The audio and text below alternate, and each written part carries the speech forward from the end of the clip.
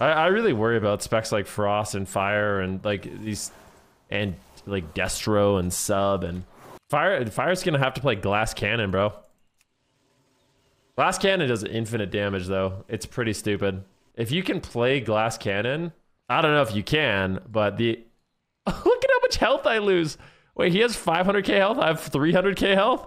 That's way too big of a difference. I feel like there's no shot, man. You're gonna die instantly. The damage is crazy though. Uh, heal yourself.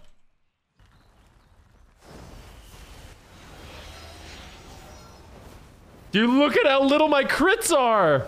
I don't do anything. Oh my god, fire sucks.